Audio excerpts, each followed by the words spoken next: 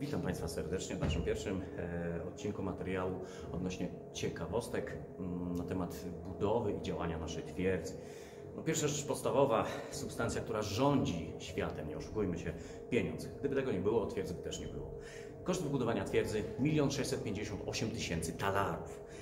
Ale co to jest ten talar? Nie możemy talara mm, równać ze złotówką, prawda? To jest maksymalny nominał, a więc ja bym przyrównał nieco na wyrost do banknotu 500 zł, czyli dosyć dużo.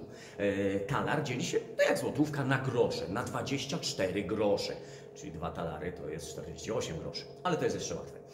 Mm, To jest cały czas mocna moneta, także dzielimy dalej. Talara dzielimy również na krajcary, na 60 krajcarów. I dzielimy dalej, proszę Państwa, bo są przecież oczywiście mniejsze transakcje na groszele, czyli mamy grosze, krajcary, groszele, na 120 groszeli. Natomiast każdy groszel dzieli się na tuzin fenigów, czyli jeden talar to jest 288 fenigów, prawda? Ale to jest dalej łatwe.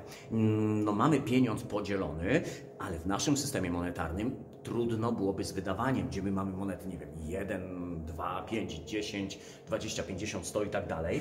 Eee, to u nich jest nieco inaczej, dużo łatwiej. Mamy monetę jeden fenig, dwa fenigi, trzy fenigi, cztery fenigi, pięć fenigów. Monetę półgroszową, jednogroszową, półtorej groszową, dwugroszową, dwójpółgroszową, trzygroszową, czterogroszową. Ale żeby sobie jeszcze ułatwić, mamy monetę jedna czterdziesta ósma talara, jedna dwudziesta czwarta, jedna dwunasta, jedna szósta, jedna trzecia, jedna druga talara.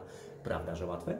I teraz proszę sobie wyobrazić, że mamy dzień żołdu, ja dostaję wypłatę, kończę służbę, a więc idę no, do karczmy na y, herbatę, prawda? E, spożyłem kilka herbat, już się rozgrzałem, mm, no i muszę uregulować rachunek. E, Karczmarka mówi mi półtorej krajcara. Ja daję jej na blat jednego talara, bo ja dzisiaj jestem bogaty, prawda?